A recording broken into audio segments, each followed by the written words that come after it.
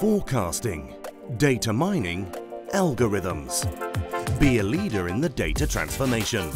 At La Salle Campus Barcelona, you will become part of a new generation of business professionals, able to master data processing tools applied to all areas of the companies of the future. Develop your critical and analytical thinking skills through a hands-on methodology. The degree seamlessly combines the knowledge of cutting-edge business management techniques, data analysis and communication skills and ethics. You will study 100% in English with students from all over the world. Enjoy two study tours to two of the world's top technological centres and participate in exchange programs with international universities.